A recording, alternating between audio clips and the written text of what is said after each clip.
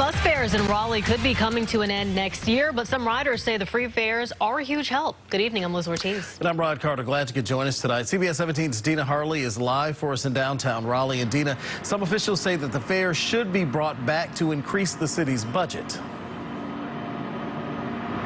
Yeah, that's the general idea. But one transportation transportation official that I spoke with today said that the cons of bringing the fares back really outweigh the pros of that. He says the free free fares are really a lifeline for some people.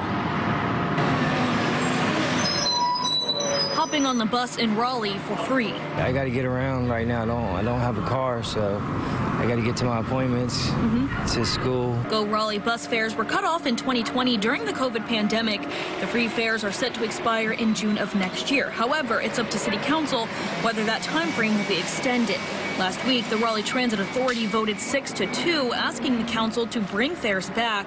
Nathan Spencer is the vice chair of the Raleigh Transit Authority and one of the two members who voted to keep those fares free. Our riders are not people who can choose. A lot of our riders are people who absolutely need a system that is reliable, affordable. He says on the surface level, it's a budget issue, as fares generated around $3 million in 2019 before they were cut off. And authority members who voted for the return of fares want that money back in the budget. $3 million sounds like a lot.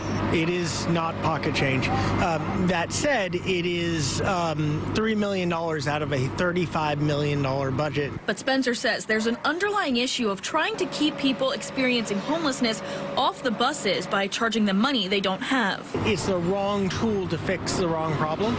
Uh, we're trying to adjust a bus system for uh, to, to stop people who need it most. Outside of the homeless population, riders say money is tight in all areas right now, and this little bit of relief makes a big difference. It'd be nice if it stayed free because, I mean, a lot of people don't have the money to pay for it right now.